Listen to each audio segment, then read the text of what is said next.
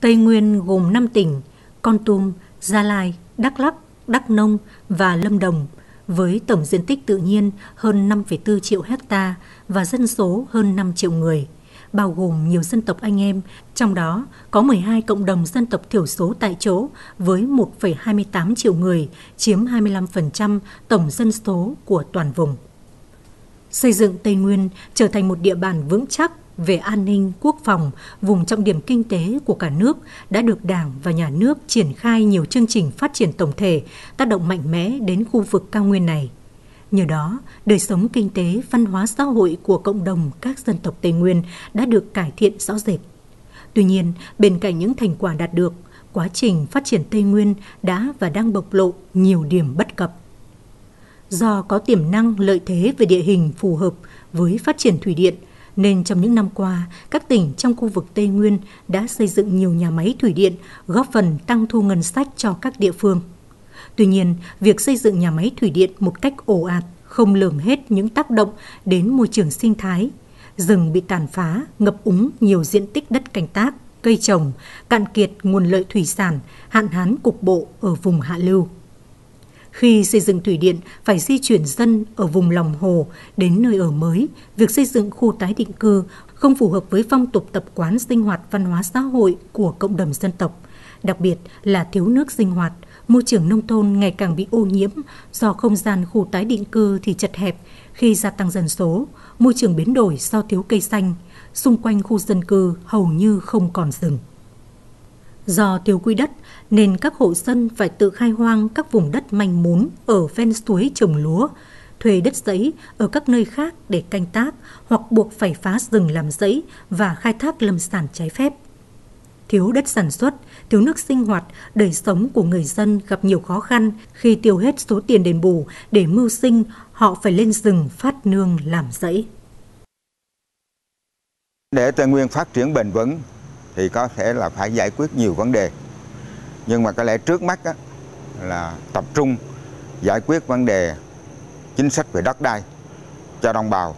để ổn định được cuộc sống. Do cái sức ép về dân số do các cái khai thác của chúng ta quá mức về tài nguyên cho nên là rừng tự nhiên là bị suy giảm bị à, giảm sút cả về diện tích cả về đa dạng sinh học. Cho nên một trong những vấn đề bây giờ là phải cố gắng giữ được cái diện tích rừng hiện còn để bảo tồn được cái không gian văn hóa để cho dân cư họ có cái không gian à, sinh sống à, hòa nhập với thiên nhiên cũng như bảo tồn được các cái loài động thực vật quý hiếm mà nó vẫn cần một cái không gian à, về thiên nhiên để nó sinh sống. À, đó là vấn đề rất cấp thiết đặt ra hiện nay. À, không những giải quyết đối với đồng sống đồng bào mà vấn đề gắn với phát triển bền vững.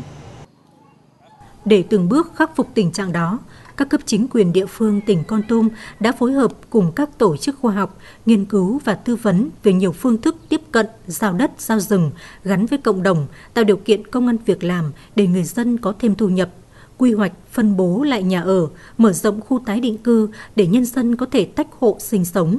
Nguồn nước, công trình sinh hoạt người dân được đảm bảo, đặc biệt giao đất sản xuất hướng dẫn kỹ thuật gieo trồng, chăm sóc và giao rừng cho người dân quản lý và bảo vệ. Giao đất giao rừng cho cộng đồng phải bắt đầu từ ý nguyện của cộng đồng và phân tích được cái lợi ích mà họ được hưởng từ cái miếng rừng đó.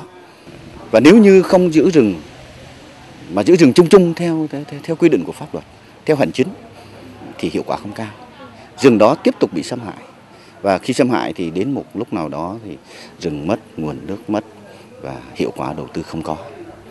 Ờ, thông qua cái sự tư vấn của các tổ chức như ờ, viện tư vấn Serum, và Superi